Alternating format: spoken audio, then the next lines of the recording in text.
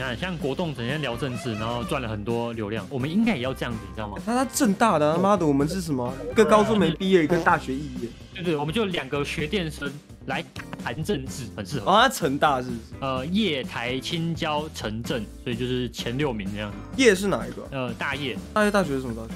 就是台湾一个很厉害的大学，屌打台大、欸，你不知道？我我没我没听懂这梗呢。为什么这会被靠背？那为什么要开他玩笑 哪里传出来的梗，我不清楚。那说到大业，我以前有一个高中那时候，我同学就是在那边开玩笑说，呃，哎、读大业扫落叶，然后教室超大声这样子。结果这时候就他后面走来一个。几乎都没来上课的同学，然后走过去，就他就跑去看他说：“哎、你那个你上哪里啊？”就打开，嗯，大业。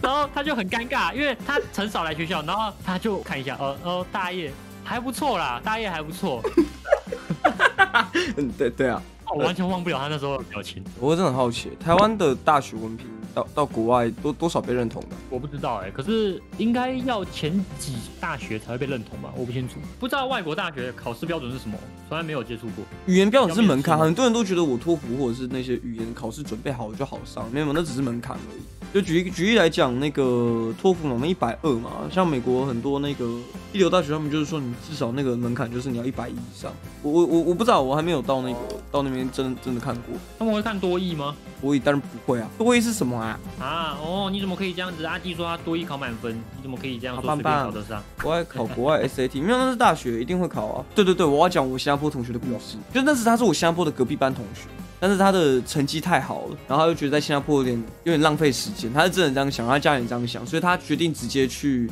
考美国大学，然后就直接去准备 SAT。那他作文是背的，他是往满分去刷的，因为他有一次考，人家就差一百就就要满分，他就说不行，我一定要满分。他怎么知道题目会考什么？因为呃，你作文会有不同的主题嘛，然后你不同主题就有不同的模板，通常是模板，不是说背整段，是背模板。举个例子来讲，就是用时差的方式先得到，假如说就是有钱你就可以坐飞机到处去考嘛，你就用这种时差的方式，可能先得知日本地区他们 SAT 那边的作文题，就先做好我要背这范本的准备。但是前面的题目他们不知道，但是他们能够先得到那个那个作文题，然后就可以先做先背这样子。哎，对他来说，其他题也不用作弊啊，他基本上都是满分。我我知道的，只是现在我不知道能不能，因为那是我在五年前在新加坡所，我那同学是北京人，他现在哎、我我没跟他联络好久了，我不知道现在怎么样。他在当下是吊打我们所有人，就是新加坡那边你七十五分以上你就可以拿 A one 嘛，对不对？新加坡国中的分数是 A one、A two、B three、B four 这样算。然后，因为之所以七十五分以上，满分还是一百，你会拿到 A one 是因为那个他没有选择题，只有申论题这样。然后他可以每一科都九十几。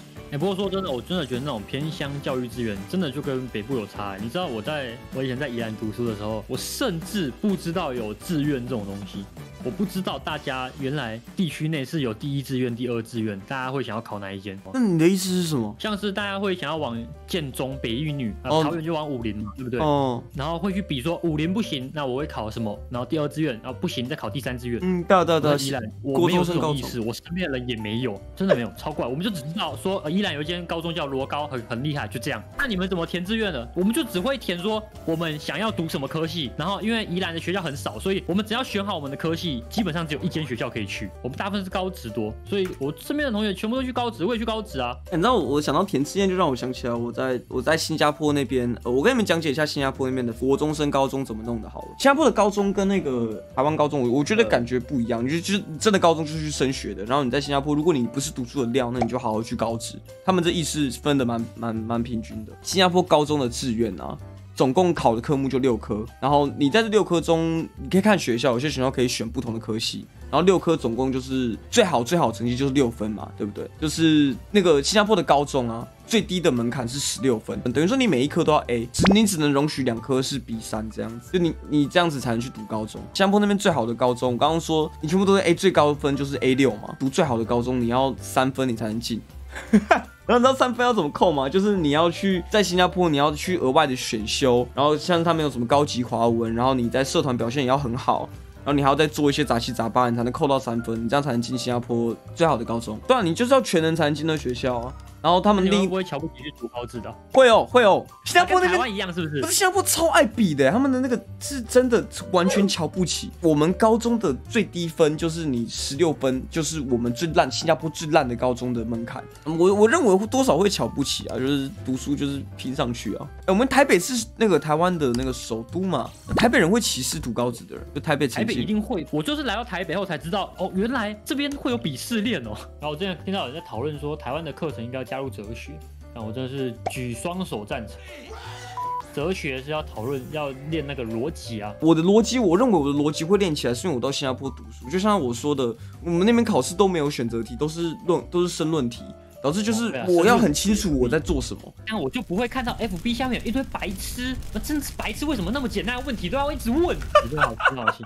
欸其实我真的他妈我最讨厌的一件事，我我我不是怕别人骂我，你知道，我是很怕别人嗯讲没逻辑的话，然后觉得自己是对的。我以前也不懂，呃，自从就是我加入辩论社，然后开始看书，才知道说，哦，这东西是很重要的。嗯，至少至少你就是看到社会议题，不要是妈一看到就第一个时间想，呃，怎样怎样，我觉得一定是怎样，为什么不这样做呢？妈，你那么聪明是不是？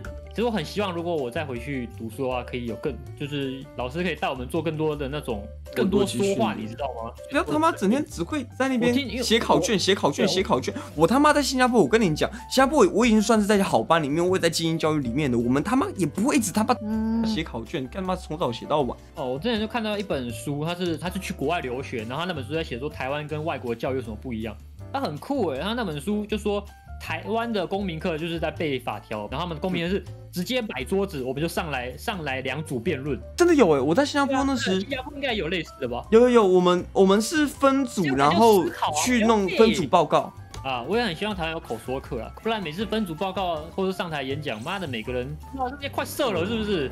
眼睛到底在看哪里啊？眼睛都看，然后这边 哦，我接下来那个怎样怎样怎样，我这样有一个人重点讲到说，超多人演讲都看了 PPT 照着念，对我他妈就是在想这个，我看得懂，你不用念给我听，我要你给我解释这是什么意思。然后我跟你说，哦、那那个这个是什么意思？然后说，哦、那个等我一下，然后开始查手机，我我 没有做功课，你还上来演讲干嘛？啊，我我突然意识到一点呢，会不会是因为你干你自己要选择去学电读，才会有一堆这种智障问题？是是是是是。你为什么不努力一点呢？可恶，我就该努力一点。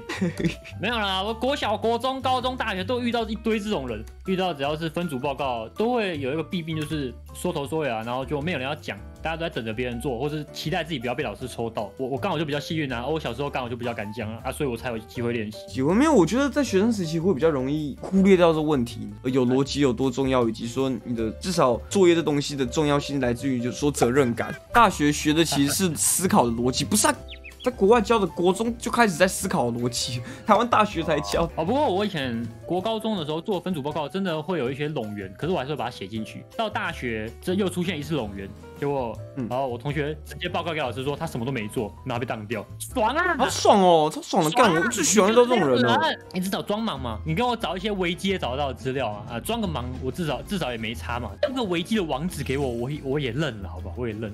丢个维基的网址给。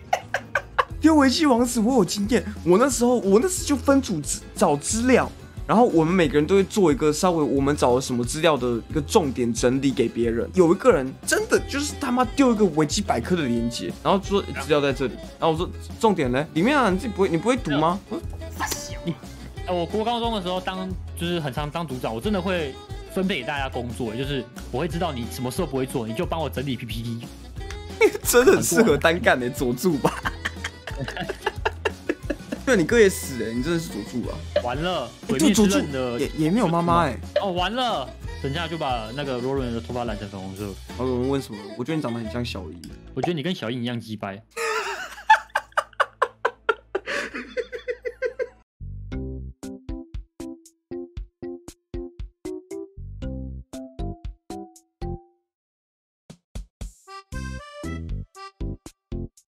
啾啾啾！